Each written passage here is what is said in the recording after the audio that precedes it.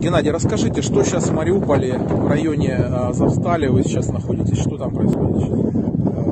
Начну со следующего. С, ребята, бодрые репортажи наших корреспондентов несколько не соответствуют действительности. Нет, не, не все так плохо. Э, С, мы продвигаемся, но продвигаемся гораздо медленнее, чем о том репортуют Сюмы, Пеговы и остальные. Не убирайте это, пожалуйста. Вот. Э, Я не знаю, на сколько процентов контролируется город, явно не на 80.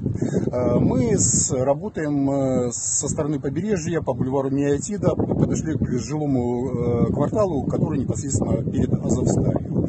Бои очень тяжелые и трудные. Почему? Потому что мы, группа разведки, используемся в качестве выявителей огневых точек. То есть мы заходим, выявляем, откуда работают украинцы, быстренько отходим, их обрабатывает артиллерия, авиация, снова заходим.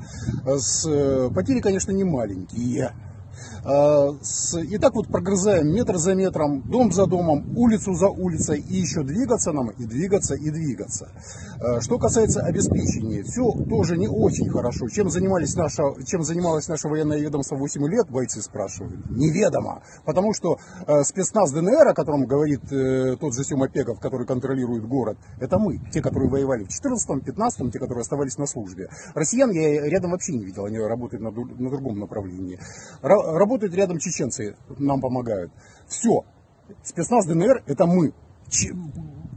Той армии, которая была на картинках, помните период был с 15, с 16 года и до 22 когда запрещали снимать на боевых, почему запрещали снимать?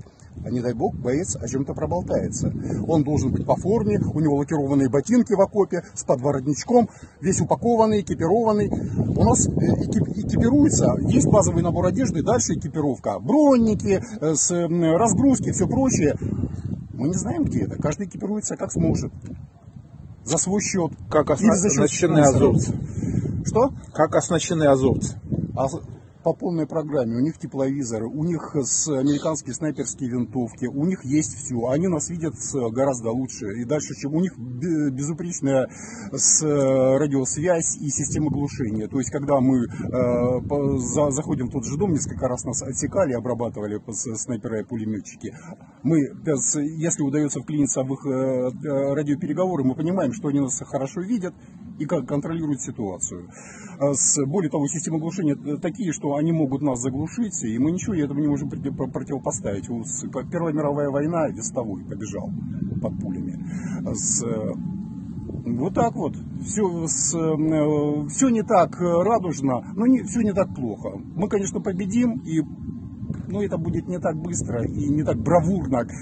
Бойцы, когда смотрят репортажи, федеральных каналов, местных СМИ, они просто смеются. Говорят, ребята, вот им не стыдно, вот они приезжают, зачем они все, все делают? Это не постановка, но это, это, это такая перетасовка кадров. Ребята, если с- мы занимаемся теми же политтехнологическими приемами, которые занима- которыми за- занимаются украинские СМИ, то чем мы от них отличаемся? Давайте говорить правду, да. На войне побеждает тот, кто говорит правду. Все не так хорошо, но не все не так плохо. Ну, рано или поздно мы все равно победим. Ну, рано или поздно мы все равно победим. Я так понимаю, что они сейчас закрепились э, в высотках вокруг Азовстали и на самой, Да, конечно, да, Азовстали. с, с- более того, они с, э, вот мы поработали по высотке, да, с, с- погасили снайпер, он сменил позицию, он в другом месте.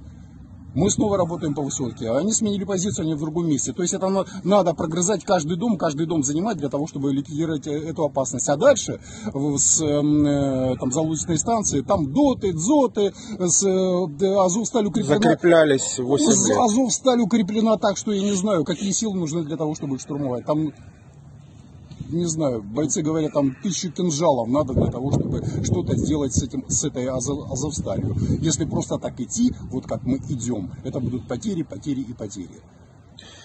Хорошо, спасибо. Не Спасибо. Геннадий. Не за что.